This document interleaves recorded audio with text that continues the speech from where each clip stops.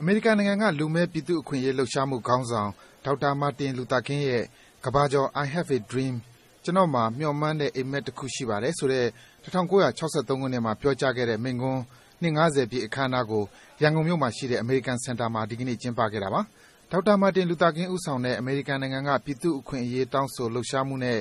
မြန်မာနိုင်ငံက ဒီမိုကရေစီအရေး တောင်းဆိုလှုပ်ရှားမှု နှစ်ခုမှာ တူညီမှုတွေရှိတာကို တွေ့ရတယ်လို့ဗွီအိုအေနဲ့ သီးသန့်ပြုလုပ်တဲ့ တွေ့ဆုံ မေးမြန်းခန်းအတွင်း မြန်မာနိုင်ငံဆိုင်ရာ အမေရိကန်သံအမတ်ကြီး Derek Mitchell က ပြောပါတယ်။“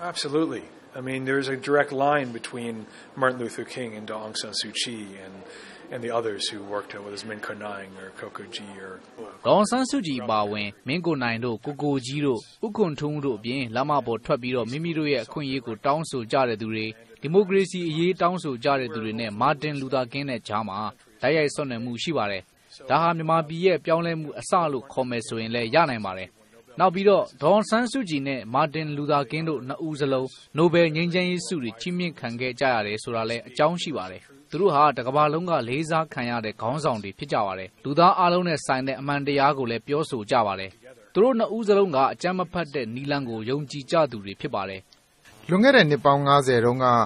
ပြောကြားခဲ့တဲ့စကားတွေဟာဒီကနေ့အချိန်မှာအင်မတန်အရေးပါတယ်လို့လည်း Derek Mitchell က ပြောပါတယ်။ဒါကြောင့် ဒီကနေ့ အခမ်းအနားကို တက်ရောက်လာကြတဲ့ ကျောင်းသားလူငယ်တွေအပါအဝင် တခြားလူငယ်တွေအနေနဲ့ လက်ရှိ တိုင်းပြည်အတွင်းမှာ ဖြစ်ပေါ်နေတဲ့ အကြမ်းဖက်မှုတွေ၊နားလည်မှုလွဲမှားနေတာတွေကို ကျော်လွန်ပြီး နောက်တဆင့် တက်လှမ်းဖို့အတွက် နမူနာယူ လုပ်ဆောင်နိုင်ကြလိမ့်မယ်လို့ မျှော်လင့်တဲ့အကြောင်း Derek Mitchell က ပြောပါတယ်။အမေရိကန်လူမည်း ပြည်သူ့အခွင့်အရေးလှုပ်ရှားမှုခေါင်းဆောင်ဒေါက်တာမာတင်လူသာကင်းဟာ ဒီကနေ့ သြဂုတ်လ ၂၈ ရက်နေ့က ဝါရှင်တန် ဒီစီမြို့မှာ အဲဒီ သမိုင်းဝင် I have a dream မိန့်ခွန်းပြောကြားခဲ့တယ်ဆိုတာကို တက်ရောက်လာကြတဲ့ ကျောင်းသားလူငယ်တွေကို သံအမတ်ကြီး Derek Mitchell က ရှင်းပြခဲ့ပါတယ်။ဒါ့အပြင်မာတင်လူသာကင်းရဲ့ ကြိုးစား လုပ်ဆောင်မှုတွေထဲက အဓိက အကြောင်းအရာတခုဖြစ်တဲ့ ရည်မှန်းချက်ပန်းတိုင်ကို ရောက်ရှိအောင် စွမ်းဆောင်မှုနဲ့ ပတ်သက်လို့လည်း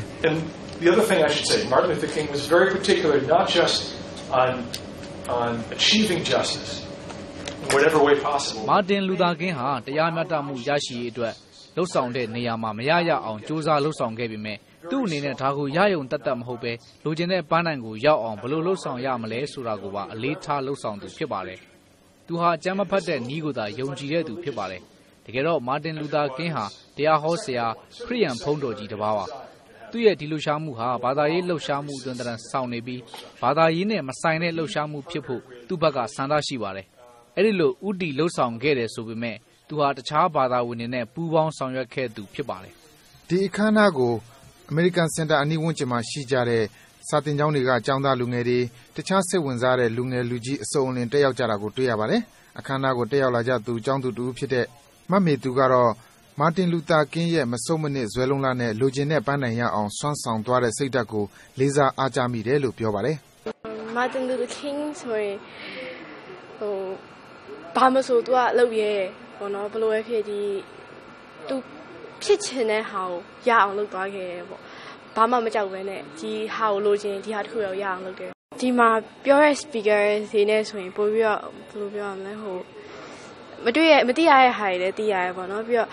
အတွေ့အကြုံတွေလည်းအများကြီးရတယ်။မာတင်လူသာကင်းအကြောင်းလည်းသူတို့ပြောတဲ့အတွက်မာတင်လူသာကင်းဘာတွေလုပ်ခဲ့တယ်ဆိုတာလည်းသိရတယ်။ပြီးတော့ဓါတ်ပုံတွေ Exhibition တွေလည်းအများကြီးရှိတယ်။”ဒီကနေ့အခမ်းအနားကိုတော့ NLD အမျိုးသားဒီမိုကရေစီအဖွဲ့ချုပ်ပါတီက နာယကအဖွဲ့ဝင် ဗိုလ်ချုပ်ကြီးဟောင်း ဦးတင်ဦး၊၈၈ မျိုးဆက် ပွင့်လင်းလူ့အဖွဲ့အစည်းက ခေါင်းဆောင်တဦးဖြစ်သူ ကိုကိုကြီးနဲ့ ဧည့်ပရိတ်သတ် ၁၀၀ လောက် တက်ရောက်လာတာကို တွေ့ရပါတယ်။သံအမတ်ကြီး Derek Mitchell ကတော့ အမေရိကန်နိုင်ငံက Defense Institute for International Legal Studies ကာကွယ်ရေးဆိုင်ရာ နိုင်ငံတကာ ဥပဒေလေ့လာရေးအဖွဲ့ နေပြည်တော်မှာ ရောက်နေတဲ့အတွက် သူတို့ကို တွေ့ဆုံအားပေးဖို့